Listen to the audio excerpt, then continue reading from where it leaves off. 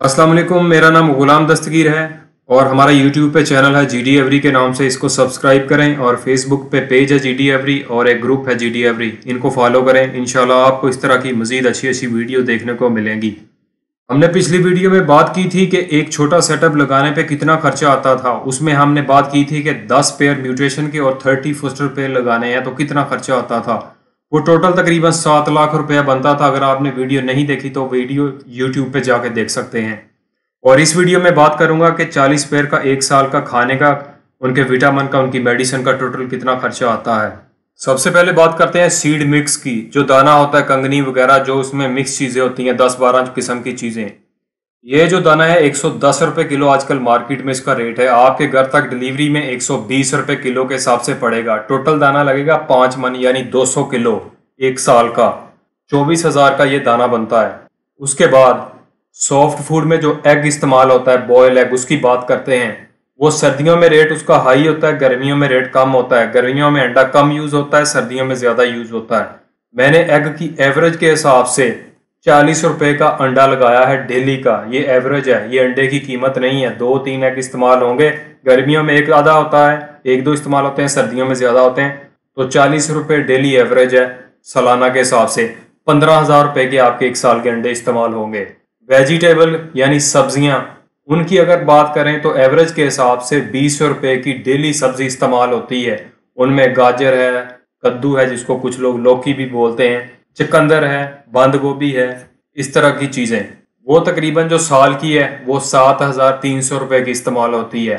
उसके बाद विटामिन और कैल्शियम की बात करते हैं, जो ब्रीडिंग सीज़न में ज़्यादा इस्तेमाल होते हैं, लेकिन आम दिनों में कम इस्तेमाल किया जाता है। वो मैं यूज़ करता हूँ, म्यालक। और ये हर साल चेंज करना चाहिए। कुछ लोग वीटा फार्म का इस्तेमाल करते हैं, कुछ में अलग करते हैं, और कुछ लोकल भी करते हैं। हर एक की अलग अलग चॉइस है। मैं आजकल कर रहा हूँ मैं अलग इसकी दो बोतल्स आती हैं, एक एक लीटर की। इसमें ये कैल्शियम है और मल्टी विटामिन है और डी थ्री है। ठीक हो गया? ये दोनों बोतलें चार हज़ार आठ सौ रुपए की आती हैं और ये एक साल के लिए काफ़ी हैं, चालीस पेयर के लिए। उसके बाद इलेक्ट्रोलाइट्स जो स्पार्क में यूज़ करता हूँ वीटा फार्म का सबसे अच्छा और बेस्ट है बड़े बड़े ब्रीडर्स इसको रिकमेंड करते हैं। ये मंथली एक हज़ार रुपए का इस्तेमाल होता है, सौ एम और ये बारह हज़ार रुपए का तकरीबन एक साल का लग जाता है। बारह हज़ार ये हो गया। उसके बाद बात करते हैं कि वो बीगा हुआ दाना जो सॉफ्ट फ़ूड में इस्तेमाल होता है, जिसमें चने, गंदम, दालें वगैरह, इस तरह की चीज़ें मिक्स होती हैं। वो एक महीने का तकरीबन एक हज़ार रुपये का लगता है और साल का हो गया बारह हज़ार रुपये का। इसके बाद बात करते हैं स्प्रे की अपने शेड में जो स्प्रे करना है, वो कौन सा करना है। सबसे बेस्ट जो पाउडर फॉर्म में आता है केमिकल उसको बोलते हैं विरकॉन एस ये तकरीबन मार्केट में अलग अलग प्राइस से मिलता है, जो एक नंबर है, वो तकरीबन पच्चीस सौ तीन हज़ार रुपये किलो की रेंज में मिल जाता है। इसकी जो स्प्रे होती है, ये हर दस पंद्रह दिन बाद करनी होती है, जब शेड की मुकम्मल सफ़ाई करनी होती है। ये तकरीबन पूरे साल का ये एक किलो भी नहीं लगता, हम एक किलो लगा लेते हैं, तीन हज़ार रुपया इसका ये हो गया। आप परिंदों की मेडिसिन की बात करते हैं, इनमें मुख्तलिफ़ किस्म की मेडिसिन आती हैं। कोई भी उनमें बीमारी आती है, जैसे फ्लैजल है, वो उसके मैदे के लिए है, अरग गुलाब है उसकी आँखों के लिए है जेटी पार है वो उसके जिगर के लिए है कूपेक्स पाउडर है, उनकी जुओं मारने, जुएँ मारने के लिए है। इस तरह डिफरेंट डिफरेंट जो मेडिसिन इस्तेमाल होती है, वो तकरीबन एक साल की पाँच हज़ार रुपये की हमने लगा ली। वो हो गई। और अब बात करते हैं हैंड फ़ीड की। हैंड फ़ीड तकरीबन चार पाँच किलो इस्तेमाल हो जाती है। ये वहाँ इस्तेमाल होती है जो आपका कोई बर्ड बीमार है, उसको हैंड फ़ीड करवानी होती है। और उसके बाद जब चिक्स नए आते हैं तो उनको भी हैंड फ़ीड करवानी होती है, ताकि जो उनके पेरेंट्स हैं बच्चों के, उनकी थोड़ी हेल्प हो सके। और केटी हैंड फ़ीड जो सबसे बेस्ट है, और मैं भी वही आपको रिकमेंड करता हूँ, उसका रेट है तकरीबन पच्चीस सौ तीन हज़ार, और उसकी क्वांटिटी होती है तकरीबन तेईस सौ ग्राम, यानी दो किलो तीन सौ ग्राम। ये लग जाते हैं तकरीबन दो पैकेट, पाँच हज़ार रुपये साल की इसके लगा लो। और एप्पल का सिरका, जो सॉफ्ट फ़ूड में भी इस्तेमाल होता है पानी में भी इस्तेमाल होता है और कई जगहों पे इस्तेमाल होता है। वो हम दितुज का इस्तेमाल करते हैं, वो एक हज़ार रुपये का, एक साल का सिरका लगता है। उसके बाद बिजली का बिल लगा लेते हैं। वो हम मंथली नहीं लगाएँगे, वो हम एवरेज डेली की पचास रुपए के हिसाब से लगाएँगे। उसमें गैस भी आ जाती है। जब सर्दियों में आप गैस चलाएँगे, गर्मियों में बिजली चलेगी, वो पचास रुपये डेली के हिसाब से हम लगाएँगे तो महीने का वो पंद्रह सौ बनता है। और टोटल जो है वो साल की जो बिजली और गैस खर्च होगी वो अठारह हज़ार रुपये की खर्च होगी। उसके बाद छोटे मोटे खर्चे हैं, जैसे बर्ड के लिए सरिंज चाहिए उसको हैंड फ़ीड के लिए, और इस तरह का कोई भी छोटा मोटा खर्चा निकल आता है।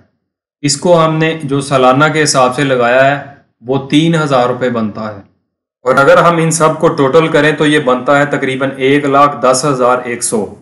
ये पूरे साल का खर्चा है तोतों का। चालीस पेयर लव बर्ड का एक साल का खर्चा है। उनकी खुराक, उनकी मेडिसन, उनके विटामिन, उनका पानी, उनकी बिजली, उनकी गैस सब कुछ इसमें इंक्लूड है। लव बर्ड के चालीस पेयर और अगर आप इनकी खुराक में या विटामिन में कोई कंजूसी करोगे तो आपको ही नुकसान होगा। उनके आगे बच्चे कम निकलेंगे, वनडे कम देंगे, कुछ पैरट बीमार हो जाएँगे, कुछ मर जाएँगे। और कुछ भाई मुझसे सवाल करते हैं कि क्या सॉफ्ट फ़ूड डेली देना चाहिए? तो भाई मेरे, उनके लिए मेरा जवाब ये है कि जी, डेली देना चाहिए। और अगर आप डेली भी नहीं देते तो आप कितना पैसा बचा लोगे साल का? ज़्यादा से ज़्यादा दस हज़ार बचा लोगे सॉफ्ट फ़ूड का। ये हमें दूर की सोच सोचनी चाहिए। और सुबह सुबह में मेरे बर्ड जो होते हैं, वो इंतज़ार कर रहे होते हैं सॉफ्ट फ़ूड का। वो दाना खाते ही नहीं है, जितनी मर्ज़ी धूप चढ़ जाए, आठ बजे, नौ बजे, दस बजे। वो बेचारे इंतज़ार कर रहे होते हैं, मैं नमाज़ के फ़ौरन बाद उनको सॉफ्ट फ़ूड देता हूँ। जब थोड़ी थोड़ी रोशनी हो जाती है तो वो बड़े मज़े से खाते हैं सॉफ्ट फ़ूड। और दो तीन घंटे में प्लेटें ऐसे खाली होती हैं कि जैसे पता नहीं कितने भूखे होते हैं।